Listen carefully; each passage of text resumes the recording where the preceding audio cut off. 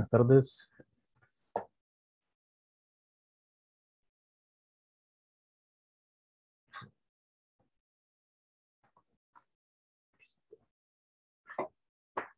Vamos a comenzar.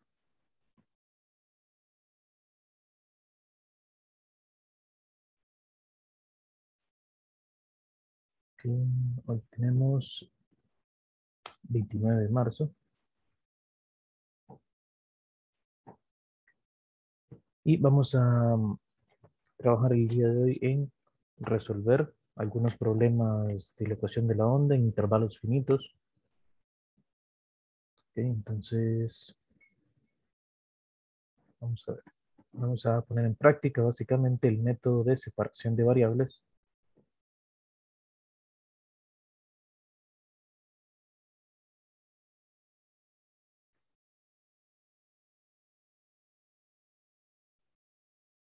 Para ecuaciones hiperbólicas.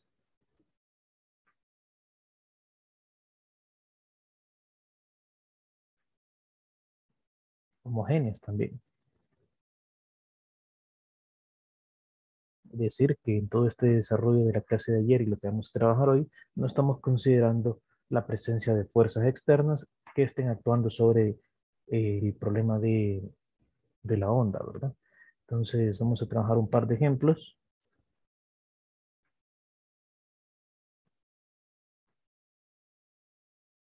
El primero, pues va a ser este problema como tal. Entonces vamos a tener la ecuación de la... No, se lo voy a escribir en palabras y también en la ecuación. Entonces, vamos a ver. En palabras sería los extremos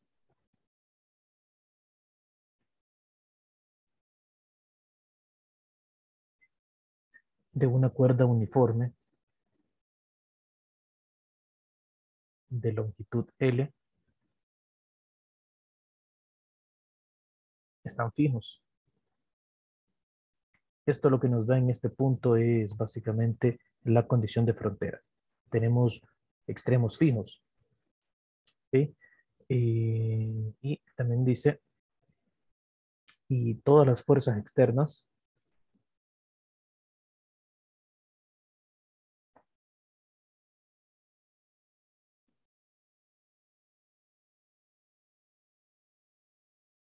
las fuerzas externas, incluida la gravitacional, es decir, o incluyendo también el peso de la propia cuerda,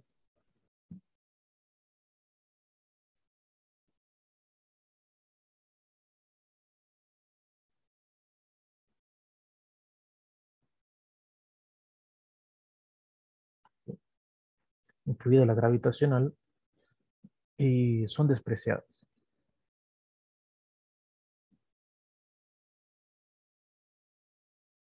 Eso quiere decir que estamos en un problema homogéneo, al despreciar todas las fuerzas que pueden estar actuando sobre la cuerda. Entonces, ahora se nos dice que se desplaza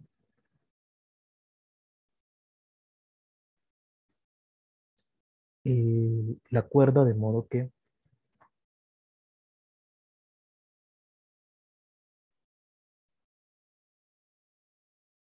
en el punto x igual a x0,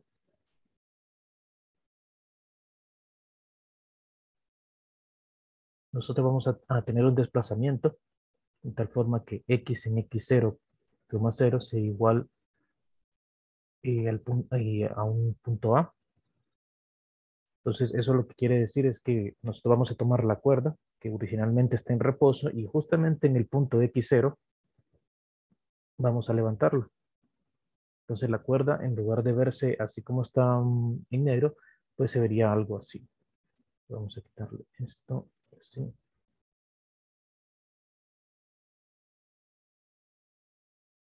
Sería algo así. Recuerde que tiene bordes fijos, así que en estos extremos va a quedar fijada la cuerda. Y simplemente levantamos desde este punto así hacia arriba hasta aquí. Eso es lo que estamos diciendo ahí, que se desplazó la cuerda desde su punto inicial hasta este punto de aquí. Y se suelta.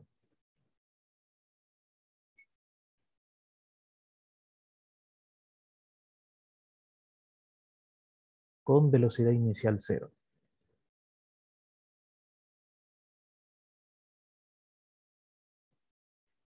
Eso quiere decir que nosotros al hacer ese desplazamiento no estamos agregando ninguna velocidad, es decir, no le empujamos hacia abajo ni hicimos un jalón hacia arriba antes de que se empezara a, mover, simplemente lo sostuvimos en ese punto y cuando empezamos nuestro cronómetro para ver qué sucede, solo lo soltamos. Entonces, lo que se nos pide aquí es encontrar los desplazamientos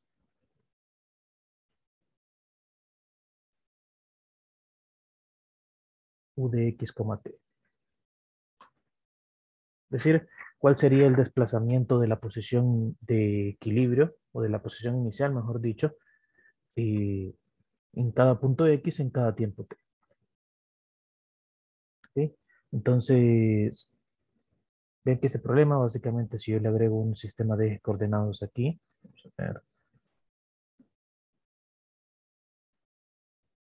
Si yo le agrego un sistema de coordenados aquí, aquí sería el U, y en esta dirección sería la X. Entonces prácticamente yo aquí tengo mi condición inicial para la posición. Es decir, phi de X, en este caso, está dado por esta función, que, o la función, mejor dicho, que deja esta gráfica.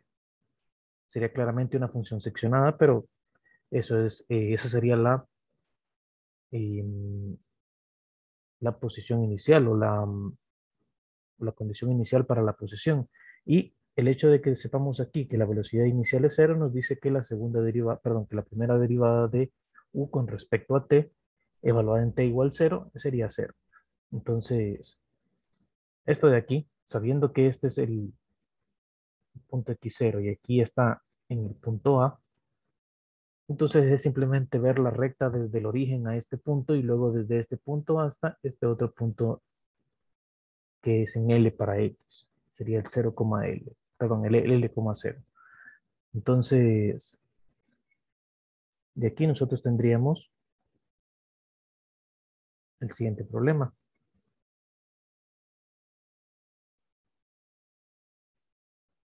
El problema a resolver sería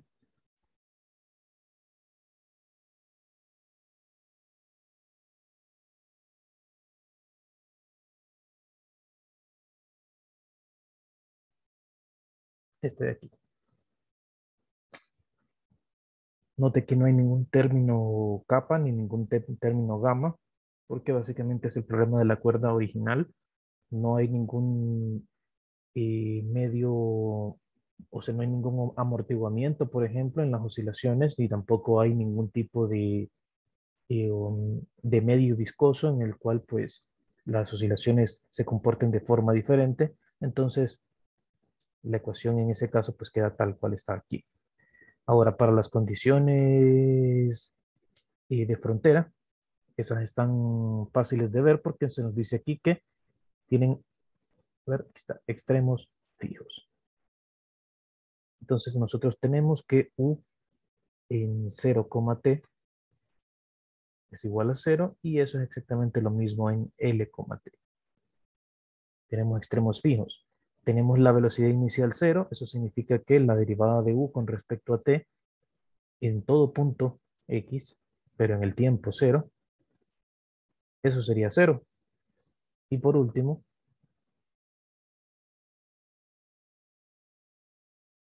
faltaría la posición. Entonces, la posición u de x, 0 estaría dada por la función de arriba, la cual es seccionada, y se vería de esta forma. A entre x0 multiplicado por x cuando x esté entre 0 y x0. Y la otra, la otra parte pues, sería a l menos x entre l menos x0. Y esto sería cuando 0, perdón, cuando x esté entre x0 y L. En otras palabras, aquí tenemos nuestro psi de x. Y todo esto de aquí sería nuestro eh, phi de x. Identificar quién sería phi y sí es importante, sobre todo al final, cuando queramos obtener los coeficientes de, o mejor dicho, cuando queramos obtener las series de Fourier para cada una de estas dos. Entonces vamos a empezar a desarrollarlo entonces, el problema, el método de, mm, de separación de variables. Entonces,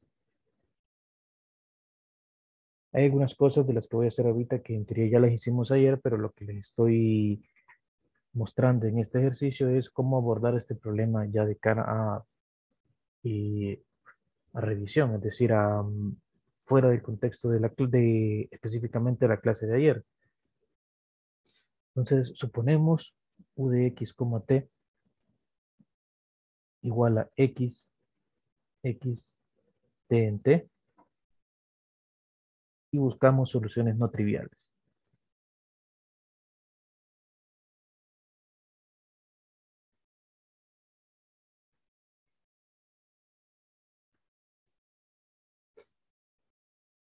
Entonces, eh, sustituimos en la ecuación y en la ecuación nos queda x de x t prima de t menos a cuadrado x prima x t de t igual a cero. Pasamos este término al otro lado y nos quedamos con, una vez despejado, tendríamos t de t entre a cuadrado t de t igual a x de x entre x de x. De nuevo, como habíamos comentado ayer, el lado izquierdo depende solo de t, el lado derecho solo de x, así que la única forma es que esto sea igual a una constante, que por conveniencia vamos a ponerle menos lambda, igual que ayer.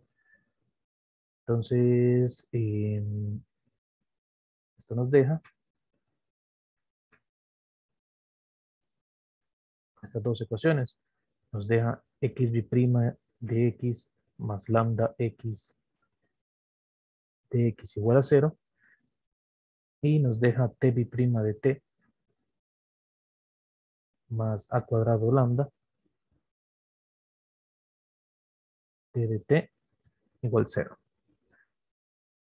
Entonces empezamos a resolver el de arriba porque tiene la misma estructura del problema de Storm-Liouville que trabajamos en el capítulo 4. Y con eso empezamos entonces. Y ahora las condiciones de frontera.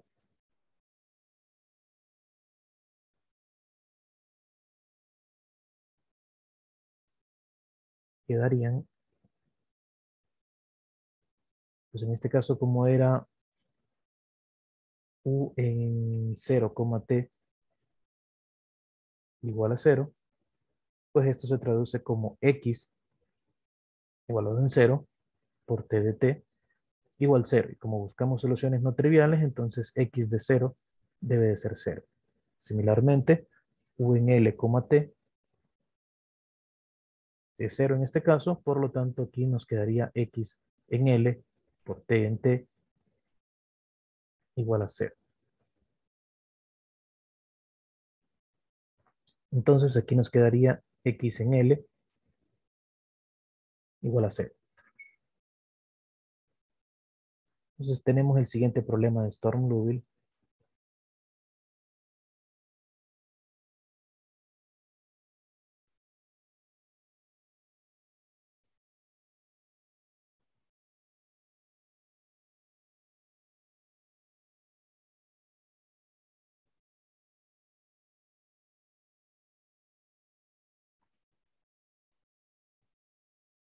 Con condiciones de frontera x de 0 igual 0 y x en L igual 0. Entonces, este problema ya lo hemos abordado, solo tiene eh, soluciones no triviales.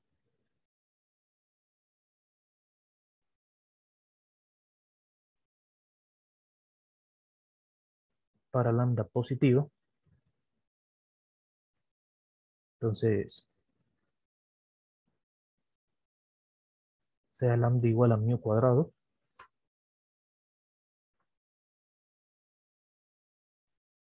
Y pues eh, la solución sería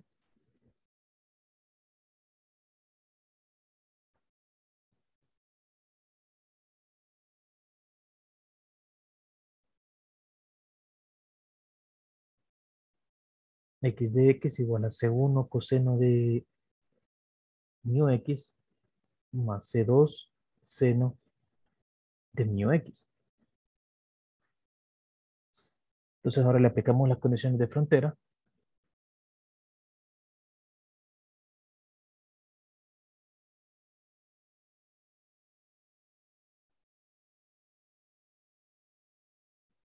x de 0 sería c1 0 y x de L sería entonces C2 seno de mu L igual a 0. Entonces, el seno de mu L debe de ser igual a 0, por lo que mu L debe de ser un múltiplo de pi. Entonces tenemos mu n, ya mostrando la dependencia de n aquí, sería npi sobre para n desde 1 hasta infinito.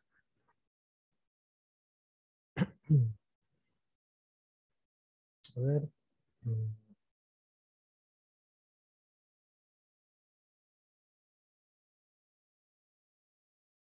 Y lo hacemos desde n igual 1 hasta infinito en lugar desde n igual 0, porque como C1 es 0, entonces este término de coseno no estaría y solo nos quedaría el C2 seno de mu x. Pero si el mu es igual a 0 para un valor específico de n, pues nos quedaría x de x igual a 0, lo cual generaría una solución trivial. Entonces, por eso no consideramos n igual 0 en este caso. Entonces, tenemos esto de aquí, por lo que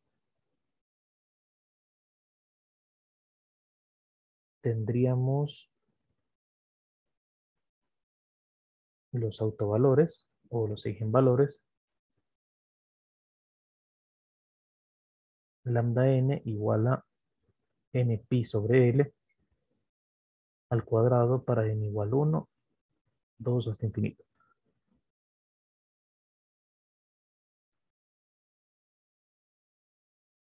Y las eigenfunciones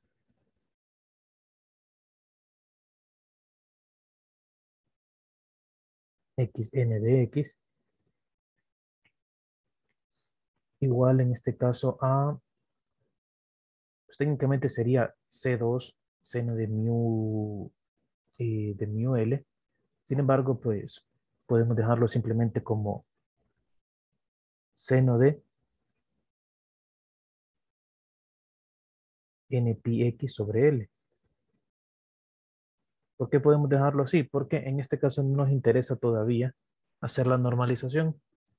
Porque si lo, para lo que nos sirve la normalización es para tener más simplificado el cálculo de la serie de Fourier, pero igualmente nosotros tenemos que calcular la, eh, la norma al cuadrado de esta función. Entonces, eh, igualmente hay que calcularla, entonces mejor no lo simplifiquemos a menos que se nos pida simplificar, o no, no la normalicemos a menos que se nos pida normalizarla. Entonces, tomemos la forma más sencilla de las eigenfunciones, que es tomando un C2 igual a 1, y tendríamos estas eigenfunciones entonces. Y como les decía, vamos a necesitar nosotros calcular la, la norma 2 de esta eigenfunción, pero afortunadamente esta ya la hemos calculado con anterioridad, y pues nosotros tenemos que esa norma al cuadrado de esta eigenfunción es L medios. Igualmente, eso eh, esta mm, integral de aquí, como hemos dicho, esta norma 2, es simplemente la integral de 0 a L de seno cuadrado de n pi x sobre L de x.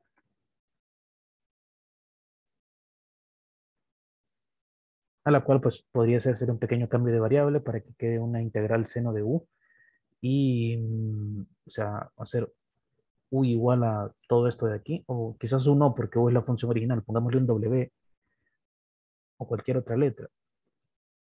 y igual a n pi x sobre l, hacer el cambio de variable para obtener una constante aquí y que la integral sea em,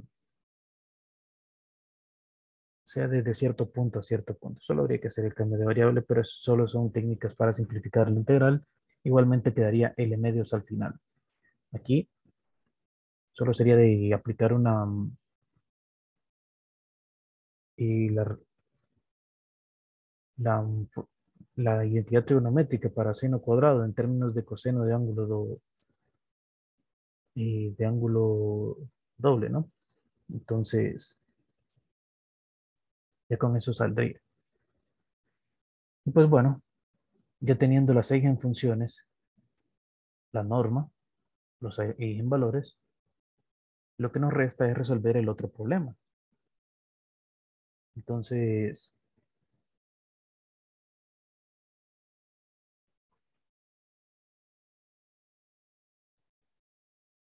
ahora bien, nosotros tenemos t en t más a cuadrado por eh, lambda, que lambda, en este caso tomaríamos lambda n, así que vamos a poner ya dependencia de n, y sería n cuadrado pi cuadrado entre l cuadrado, o sea que podemos poner todo esto dentro de un solo cuadrado, ¿verdad? Mejor. A n pi sobre l al cuadrado por t de t igual 0. Así queda, ¿verdad? Sí. Y pues em, la solución de esto, cuya solución sería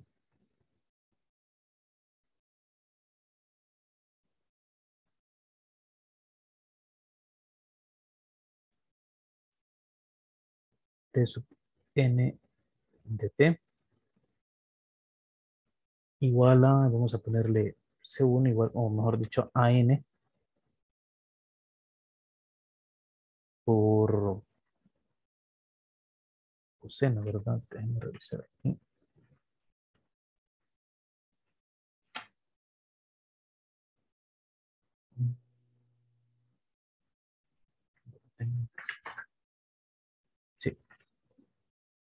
El, uno es, el AN va con los cosenos. Entonces, AN coseno de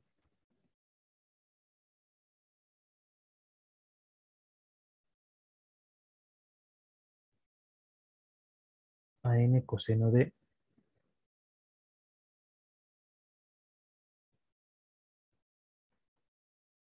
voy a poner aquí a pi n para que este AN no se confunda con este a pi n entre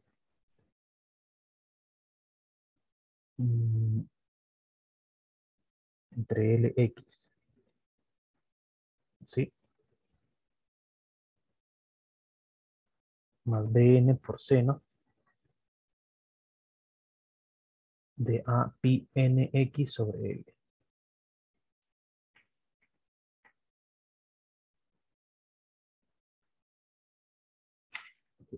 Vamos a una cosita aquí.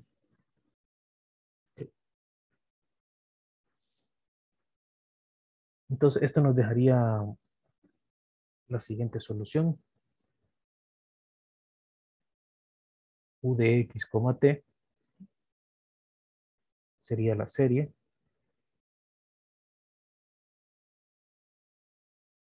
De a sub n coseno de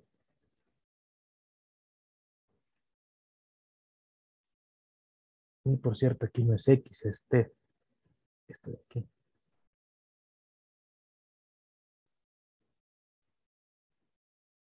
API NT entre L más BN por el seno de API NT sobre L. todo esto multiplicado por seno de npx sobre L también. Entonces, esta es la función. Lo que falta es aplicar las condiciones y las condiciones iniciales. Entonces, nosotros sabemos que a partir de la teoría, esta, que la sub n son los coeficientes de la serie de, Fourier para la, la condición inicial de posición, es decir, u en 0, perdón, u de x, 0 es phi de x, y en términos de la serie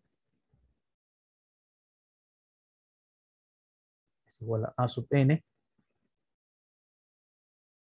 por el seno de n x sobre L.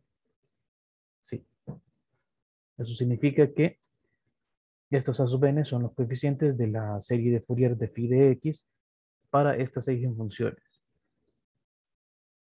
Por lo que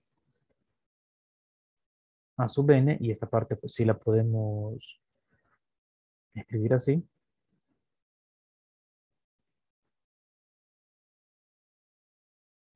Integral de 0 a L de phi de x por xn. Afortunadamente ya tenemos cuánto es esta norma cuadrado. Era, lo escribimos acá arriba, L sobre 2, así que aquí va a quedar 2 sobre L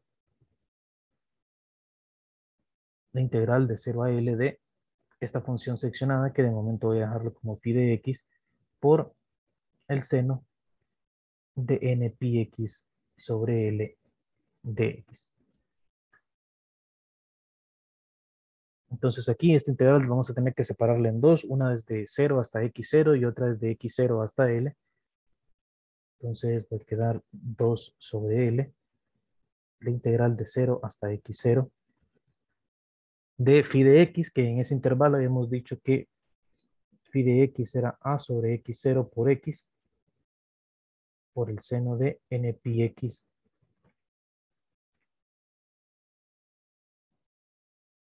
Sobre L de X más 2 sobre L, la integral desde X0 hasta L de A por L menos X dividido entre L menos X0 y multiplicado por este seno.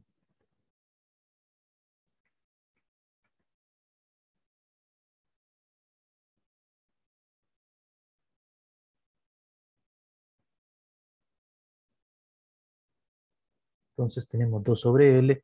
Esta integral, vamos a ver, primero podríamos sacar el A y abajo LX0 y nos quedamos con la integral de, mm, de x seno. Entonces eso lo hacemos por partes, ¿no? Y nos quedaría primero, vamos a ver, buscar un espacito para hacer esto. Podría ser por acá.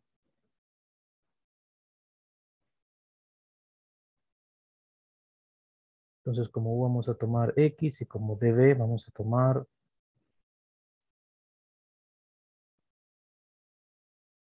X.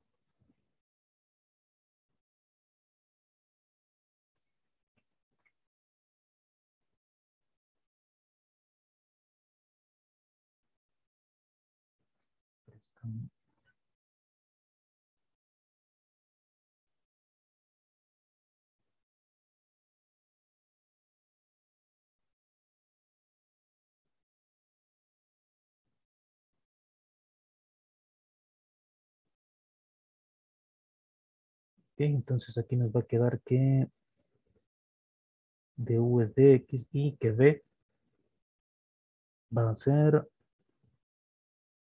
menos L sobre N pi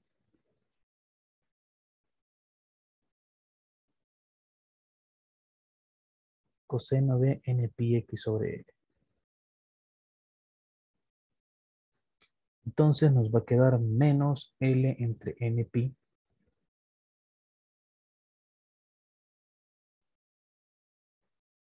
que eh, x coseno de n pi x sobre l y este evaluado desde x igual 0 a x igual x0.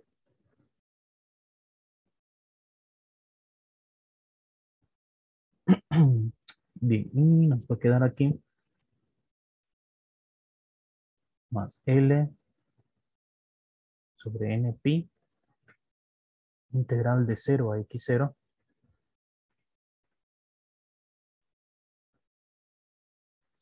del coseno, ¿no?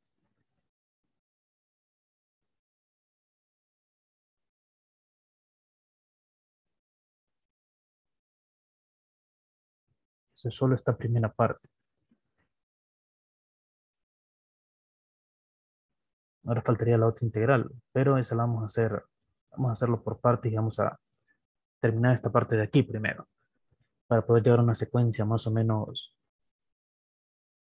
fácil de, de revisar.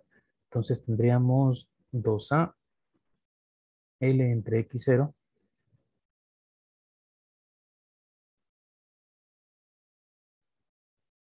y tendríamos aquí en menos LX0 entre NP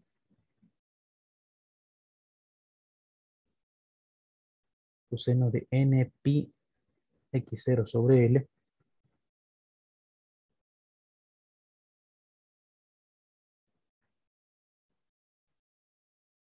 más esto evaluado en 0 que quedaría 0 porque hay un X aquí. Entonces, más 0.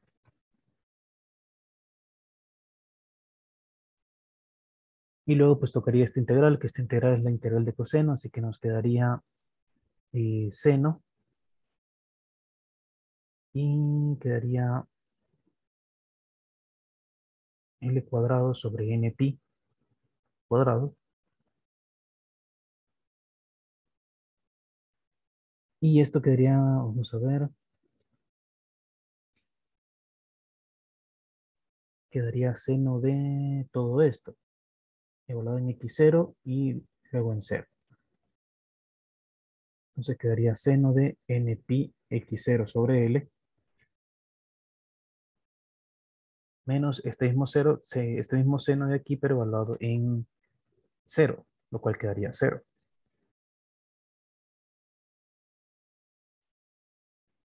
Más el 2 sobre L, y aquí falta toda esta, esta otra integral que no le hemos hecho, ¿verdad? Solamente estamos dejando espacio. Ok, entonces... Mm, esto nos va a quedar tengo coseno y aquí seno nada más, entonces vamos a simplificar lo que se pueda. Que nos va a quedar 2a. El, el LX0 se cancela, va a quedar negativo. Entre NP. Coseno de NP X0 sobre L. Ya nos va a quedar más 2 a L entre x0 n cuadrado pi cuadrado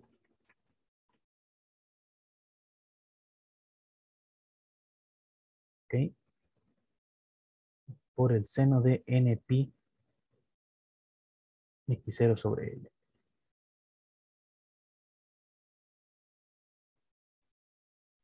Notó sobre él y lo demás. Ahora vamos a trabajar la otra integral entonces, la cual deberíamos trabajarla por separado. Mm, vamos a ver. Primero voy a sacar las constantes. Voy a sacar el A. Y voy a sacar el L menos X0. Luego me quedaría solamente la integral de L menos X multiplicado por esto. Entonces aquí tendría dos integrales. Una de X0 a L de simplemente L por seno de n pi x sobre L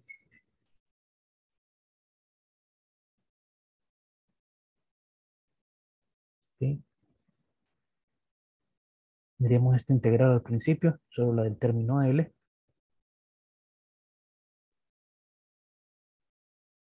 Menos la integral desde x0 hasta L de x seno de n pi x sobre L.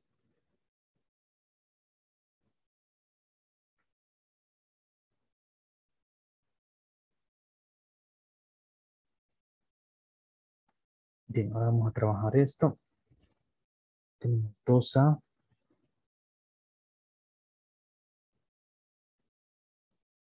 y estoy aquí. Y la primera integral pues es más o menos fácil, ¿no? Porque sería simplemente, a ver, multiplicado por esta L, la integral de seno sería eh, menos coseno,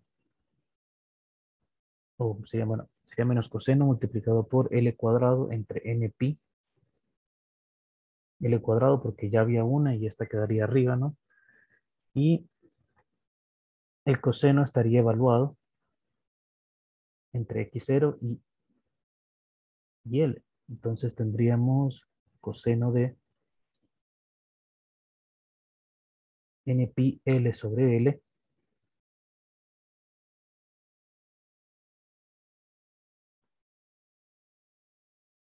y esto menos coseno de n pi x0 entre L. Aquí esto se cancela. Bueno, esta es solamente la primera parte, la primera integral y faltaría la otra.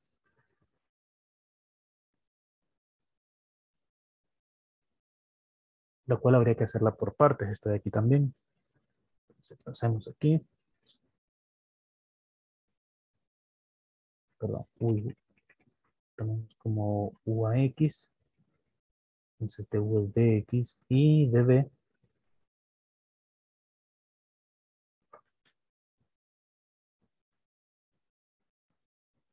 seno de n pi x sobre l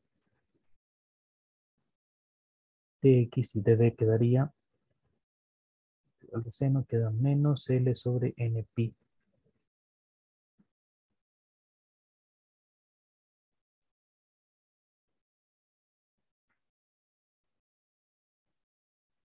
coseno. ¿ok? Mm. Y bueno, esta sería la integración por partes, ¿no? Bueno, los elementos para la integración por partes sí nos quedaría entonces, considerando que hay un menos antes de todo. A ver, esto. Así. Menos yo tendría menos aquí L entre N pi X por coseno de N pi X sobre L evaluado de X igual a X0 hasta L tendría más L sobre N pi de integral de X0 hasta L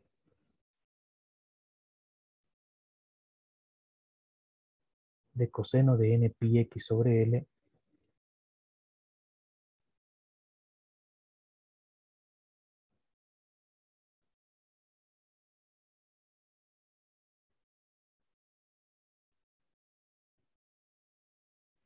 X y esta otra de aquí. Entonces vamos a simplificar un poquito las cosas aquí.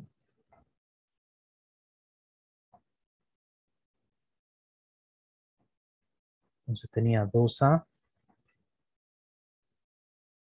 L, L menos X0.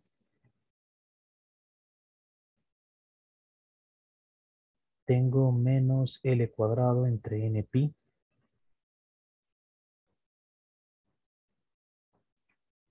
Multiplicado aquí por coseno de N pi, el cual a veces se reemplaza como menos 1 a la N, pero vamos a dejarlo como coseno de N pi porque al final no va a quedar y aquí vamos a tener menos no más L cuadrado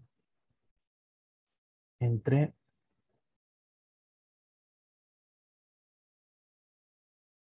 mm, NP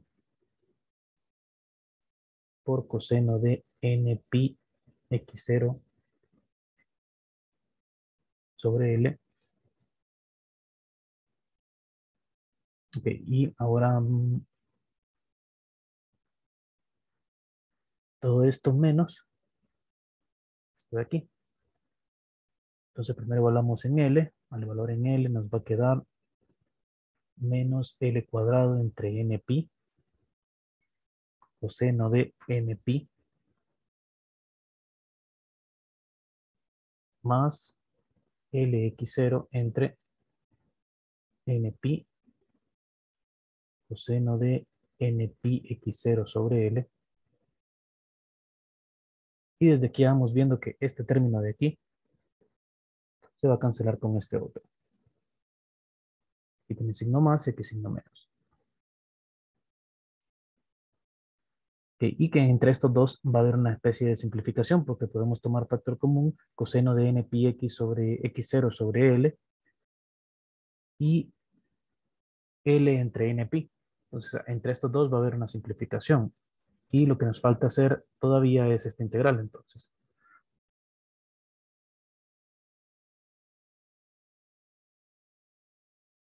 Más tendría L sobre NP.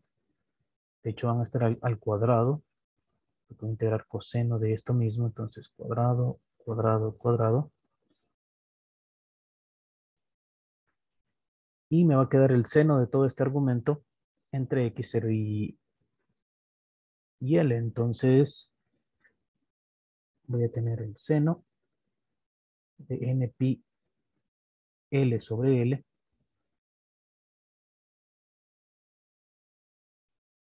menos el seno de NP X0 sobre L. Entonces cierro el paréntesis de la integral, cierro el paréntesis de este menos y cierro el corchete de afuera. Esto de aquí da cero, porque seno de NP. Y seguimos con las simplificaciones. Vamos a ver, aquí llevamos bastantes cositas. Entonces, de la primera parte teníamos esto de aquí que no le habíamos copiado.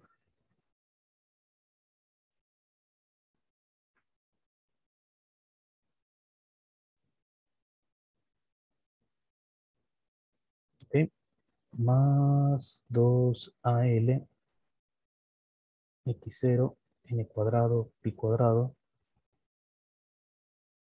seno de n pi x0 sobre L.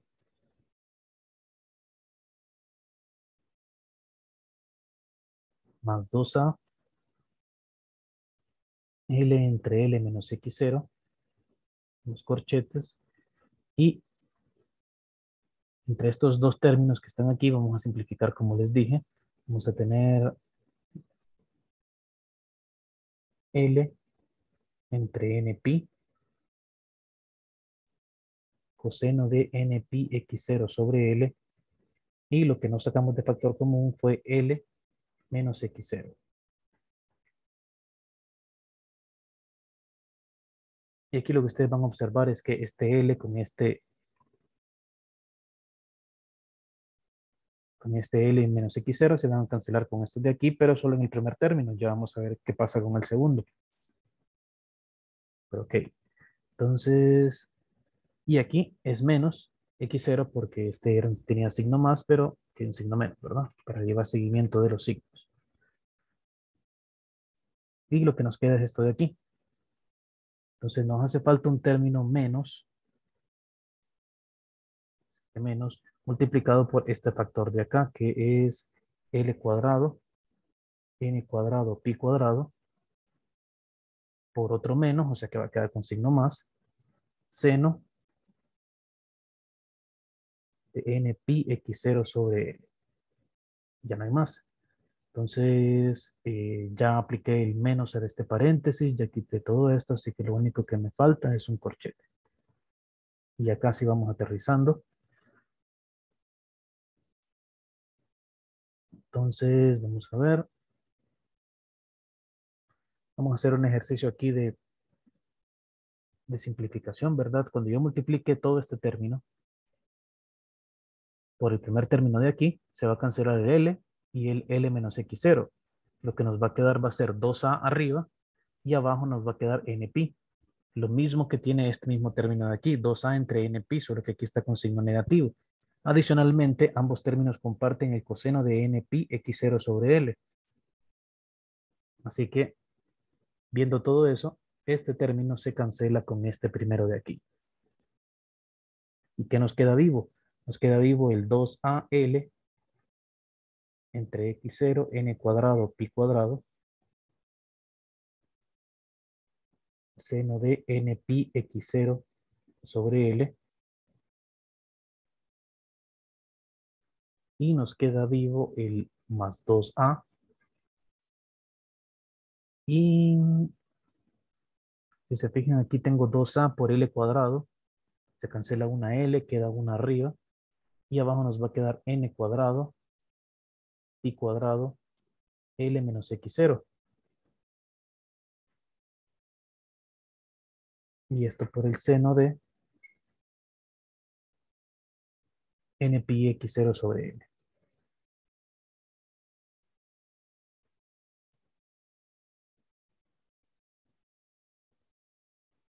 Mm.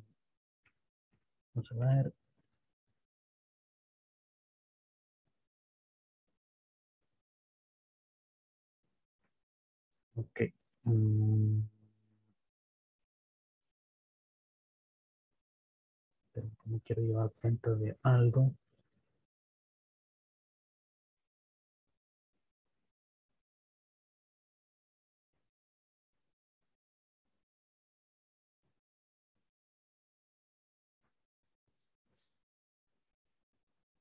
Ujú.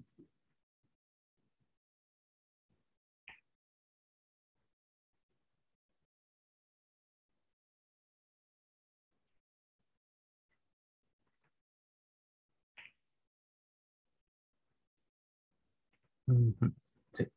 Ok. Entonces, eh, esto es lo que nos queda. Vamos a sacar unos cuantos factores comunes que podemos tomar. Tenemos 2a L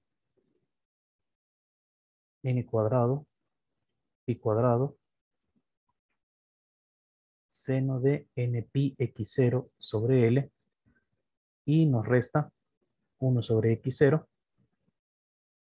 más 1 sobre L menos x0. Entonces, esta simplificación de fracciones es fácil de hacer. No se cambia de color, ahora sí. Esto pues nos va a quedar L menos X0 más X0 nos va a quedar L sobre X0 por 1 por L menos X0. ¿Ok? Y al hacer la multiplicación nos va a quedar 2AL entre N cuadrado, pi cuadrado, X0, L menos X0, de hecho L va al cuadrado por esta L de aquí, por el seno de n pi x0 sobre L, así. Y esto, todo este cálculo que hicimos es para calcular AN. Entonces, esta es la expresión de AN.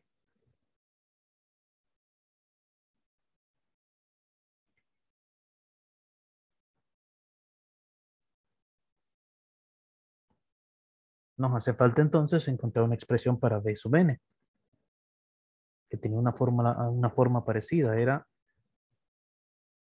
1 entre omega n, según la fórmula que teníamos, por 1 sobre la norma cuadrado de xn por la integral de 0 a l de psi de x por xn de x de x más parte de la integral kappa por a sub n. Ahora, ¿qué sucede? Este B sub n se va o tarda una cantidad enorme de veces menos que el cálculo de sub n en este problema en específico porque resulta que si sub x es 0 y que capa es cero en este ejercicio. Entonces, toda esta integral da cero porque es definida y este término da cero multiplicado por esta cantidad da cero. Entonces, b sub n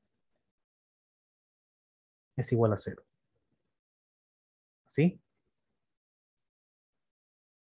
La solución nos queda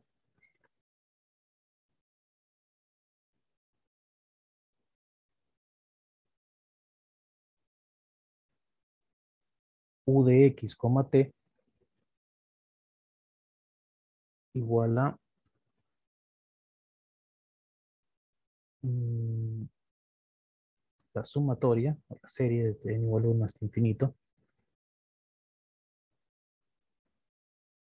Como el b sub n queda 0, entonces fijémonos que aquí este término de seno a pi n t sobre l no va a quedar, solamente va a quedar esto, a sub n por coseno de esto por el seno de esto. Entonces, ¿qué nos va a quedar? A sub n 2a l cuadrado entre n cuadrado pi cuadrado x0 l menos x0 por el seno de n pi x0 sobre l.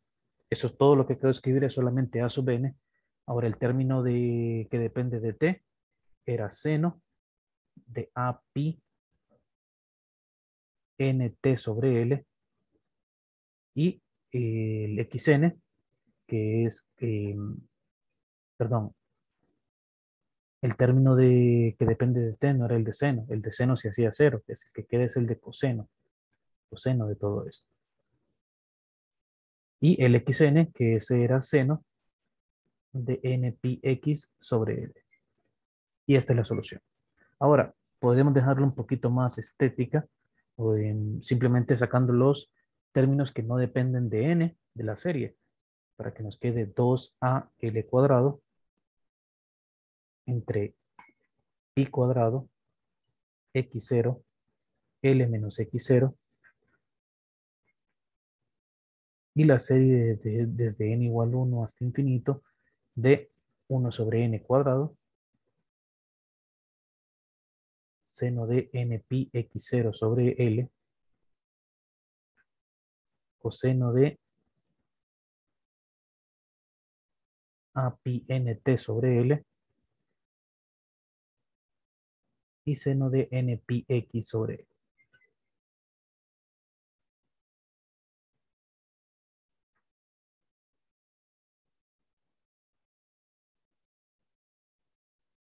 Y esa es la solución. Ahora, si me permiten un minutito, creo que, le puedo, creo que he encontrado una simulación para que pudiésemos ver cómo quedaría esta solución. Vamos a ver.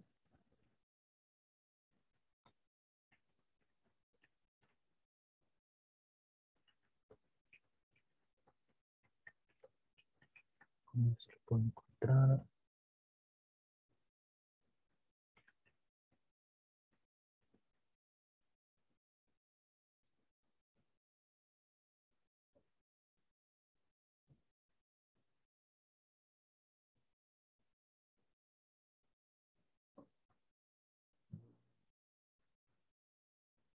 Denme un minutito. Si lo encuentro, se, se los pongo ahorita. Si no, pues lo busco para mañana. Pero denme, un minutito para ver si lo encuentro.